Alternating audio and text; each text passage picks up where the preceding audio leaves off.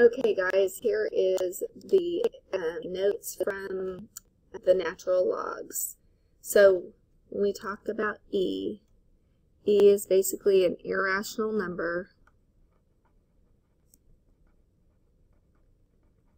with an approximate value of 2.718 and it basically occurs at the base of exponential logarithmic functions that have real world scenarios. And there is just basically what they're saying is things grow at an exponential rate of um, E in um, nature and in science. So the exponential function with a base of E is called a natural base exponential functions. And basically that's f of x e to the x power. Now, logarithmic functions with a base of e are called natural logs. And an example would be log base e um, of a. Let's say log base e of a equals x and that could be abbreviated as um, ln a equals x.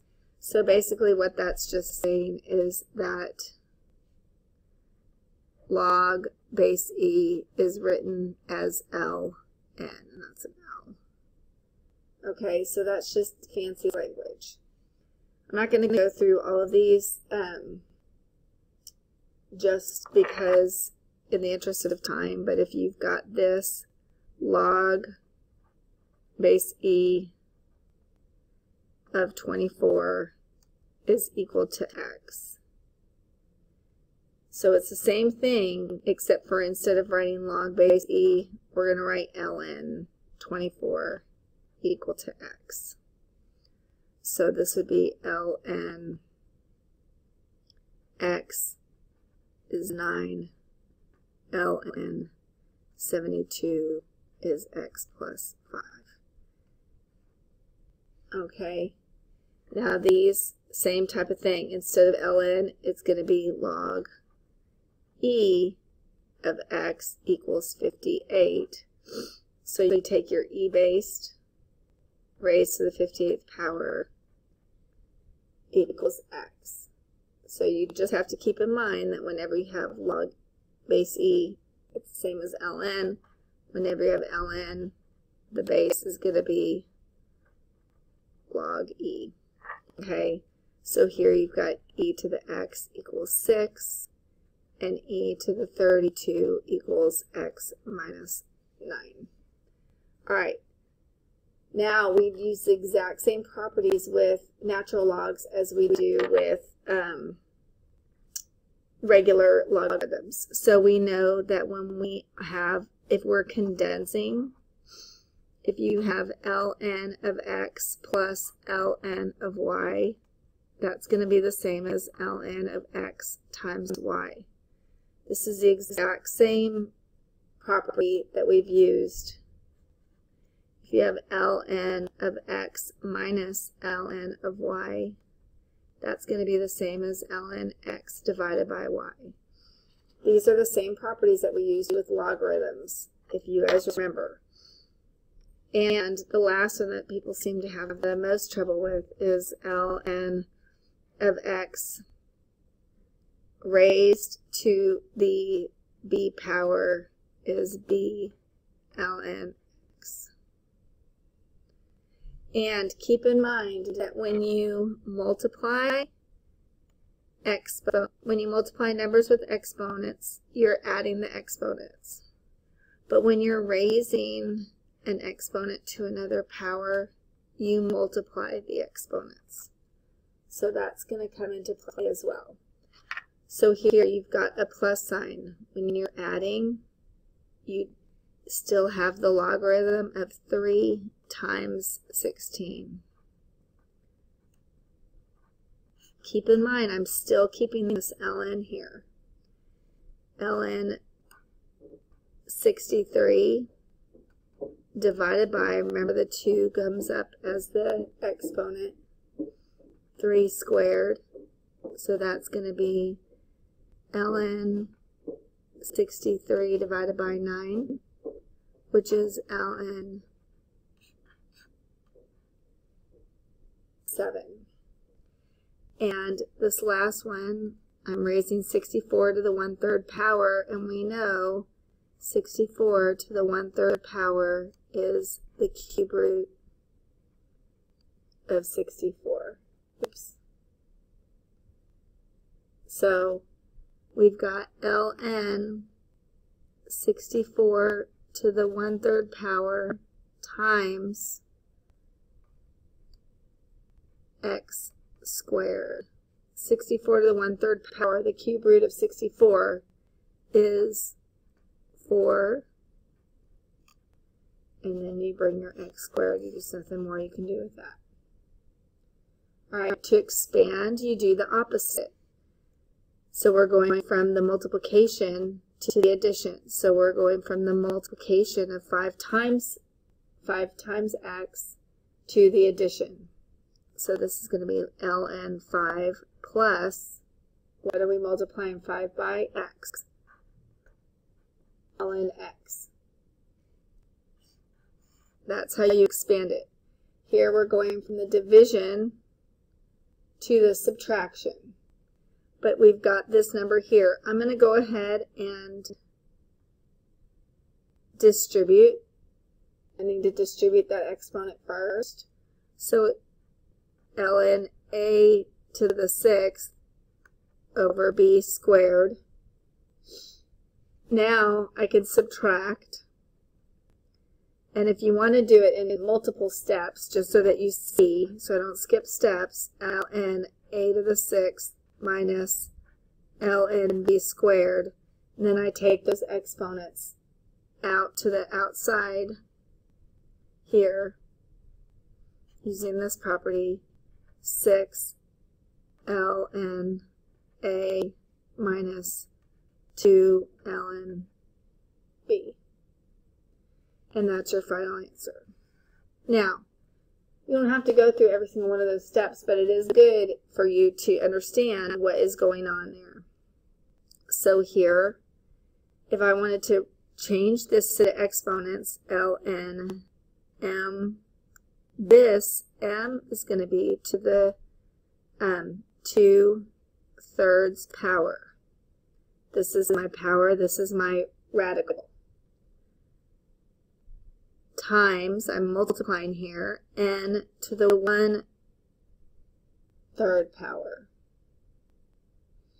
So now if I'm breaking this down, I'm going from multiplication to addition. ln m to the 2 thirds plus ln n to the 1 third. And then I bring the exponent over 2 thirds ln m plus oh, 1 third ln n. Now, if you wanted to rewrite that in a little bit less convoluted way, you could rewrite this as 2 ln m plus lnm all over 3 because they're both being divided by 3.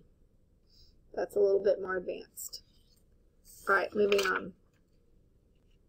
So we've got three types of problems that we need to solve, and you need to be familiar solving all three types. One is where you have 1 log equal to 1 log. These are the easiest types of problems.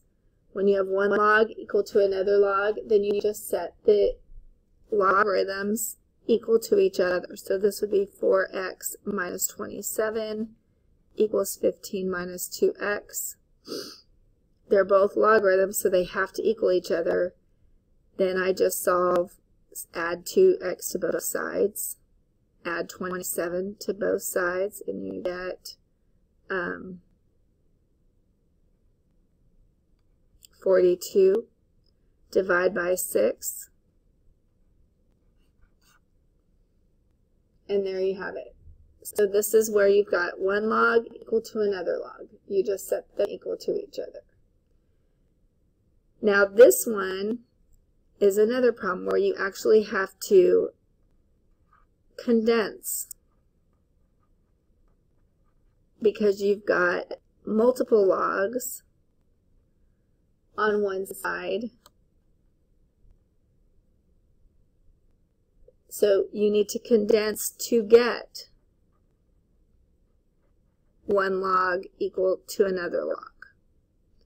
So I'm going to condense this side into ln 72 divided by 4 and I'm going to condense this side into, I'm multiplying because I'm adding here. I divided because I was subtracting. I'm multiplying because I'm adding. I'm using my, my property rules that we just talked about. This is going to be 6 times, oh, I'm sorry, ln 6 times a minus 2. So now I've got a log equal to another log, which brings us up to here. Okay? So 72 divided by 4 is, I think that's 18.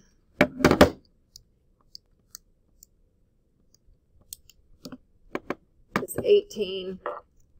So I've got log 18 equals log 6a minus 12. I just distributed the 6 now I've got a log equals to a log, so now I can just write 18 equals 6a minus 12. Add 12 to both sides, 30 equals 6a, divide by 6, a equals 5. Okay, that's your problem too. So you've got one log equals to another log, then you've got the problems where you actually have to condense first to get one log equal to another log. Now you've got where you've got a log equal to a number. When you have a logarithm with an exponent here equal to a number, now notice my exponent, this is where my variable is. So this is where my variable is. When my variable is with my log, then I need to put in exponential form. When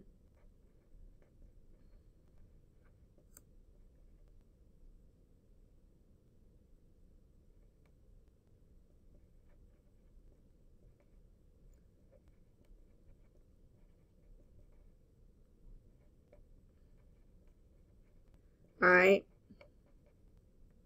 So here, I've got a base of e, right, because ln equals base e, e raised to the second power equals 8x. Now I have to keep in mind, this now becomes a number. There's a number right there. I can put in my calculator, second e raised to the second power, 7.389 equals 8x.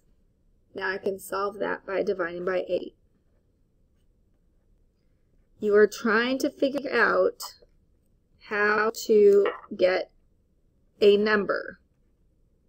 And this is 0.236. I'm going three decimal points, so since this is a 6, I'm going to raise it up to a 4.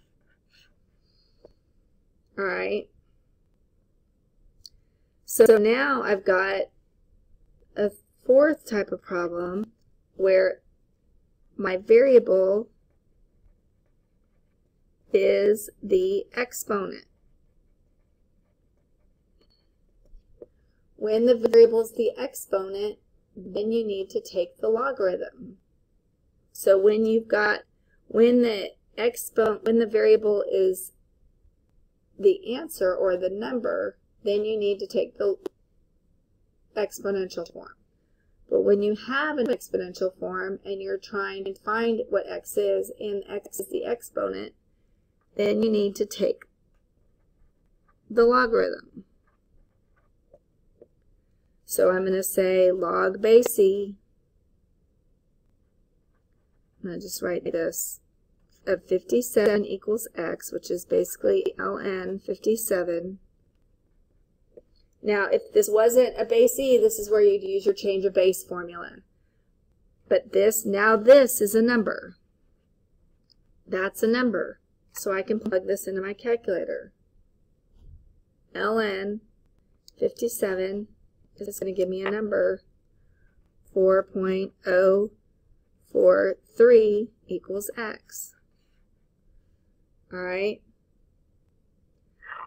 Here's another one where your exponent is the um, variable.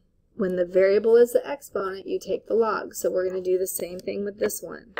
When the variable is the exponent, so first, however, I want to divide by 5. I want to get the e, I want to get this by itself.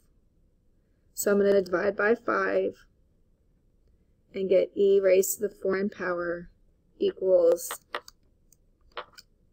19. This is still, my variable is still the exponent, so I'm going to take logarithm. Log base e of 19 equals 4n. You can skip this step if you want. I'm just trying to show you that these are the same. I don't want to confuse you. I just want to show you what's going on.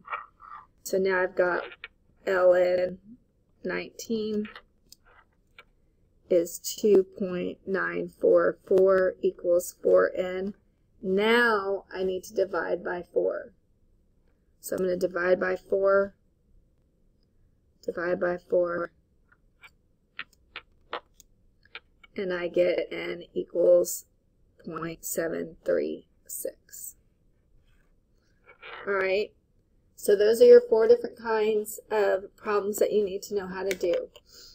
These ones over here, some of them require factoring because they turn into binomials and trinomials. That helps.